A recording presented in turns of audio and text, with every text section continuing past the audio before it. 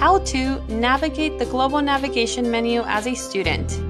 The global navigation menu is located on the left side of every page in Canvas. It provides quick links to frequently used Canvas features.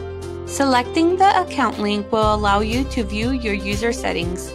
Here you can add a profile picture, set additional contact methods, and adjust your Canvas notification preferences.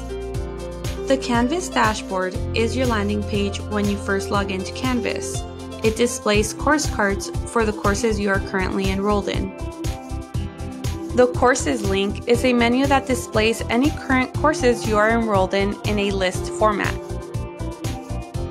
The Calendar feature in Canvas displays any assignment or events for all of your courses in one place. You can also add personal events and reminders to keep track of dates.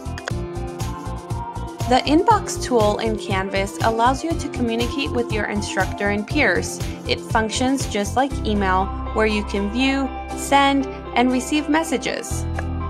You can get Canvas help by using the Help menu. This expands to display Chaffey's D help desk information, Canvas after hours and weekend support phone number, and the ability to explore the Canvas student guides, which is an additional resource for how to navigate Canvas. If you have additional questions, please contact our DE Help Desk at 909 652 6975 or online ed at chaffey.edu.